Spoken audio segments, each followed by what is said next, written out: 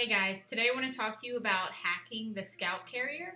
It's really popular right now, so I put together a couple graphics to explain how to do that.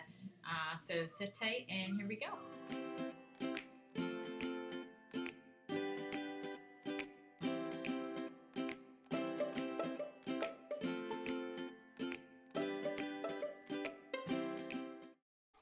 Hey guys, so today we're talking about making a replica of the Scout carrier with Sew Toot patterns um, with one notable difference. So you'll see that the Scout is a two-piece um, panel construction. It has like a separate waistband. Um, for this hack, we're not going to do that, mainly because I, I don't know that it's worth the effort to make it a separate waistband piece when the Voyager panel molds so well anyway um, and without darts even. So um, if you were wondering if you needed to do the darts, um, I included a picture of this Voyager here for you to look at um, and see that it's really not necessary and it's going to save you a lot of time during construction um, to just do it this way too. So you'll need the Voyager pattern and either the Evolution ideally or the little Pick Me Up.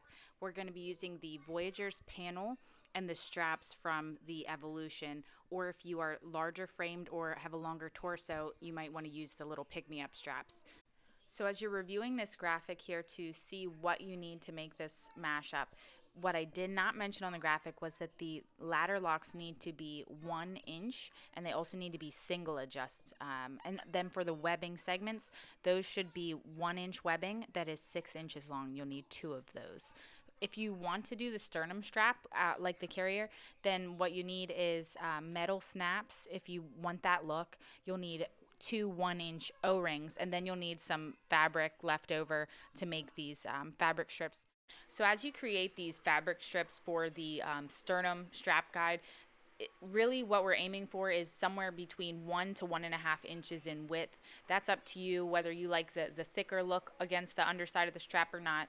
Um, but once you sew those, we're just tacking them to the underside of each strap before we sew the straps together um, and then tacking them down at regular intervals. Um, again, that's at your discretion. Whatever you feel like your fingers can get underneath and be able to attach the actual sternum strap components. Um, so that's that's up to you.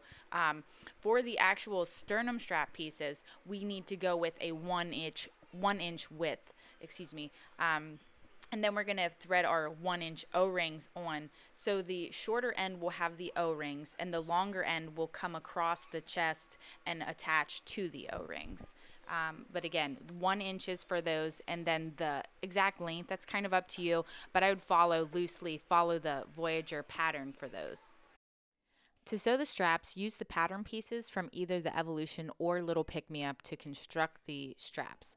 Um, the Scout has a low profile, lightly padded strap.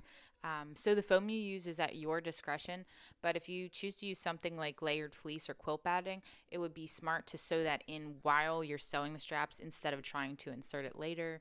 Um, and we, we know that could be super frustrating. If you're going with open or closed cell foam, you'll insert the foam after sewing and turning the straps um, as usual. Um, what I would use, uh, I would probably go with, if I was making this, I would probably go with a half inch open cell foam combined with a thin layer of um, closed cell foam. So you get um, the rigidity, but you also get a little bit of cushion. Um, and if I was going to put those in together, I would probably use a spray adhesive um, to insert them together. Attaching the strap hardware to the strap is actually pretty straightforward, um, but you'll notice that we are using one inch single adjust um, tension locks instead of dual adjust like the Voyager pattern calls for. Um, basically what we're doing here, we're just taking those six inch webbing segments, um, threading them through the tension lock, and then attaching them to the strap, making sure that we are adequately reinforcing.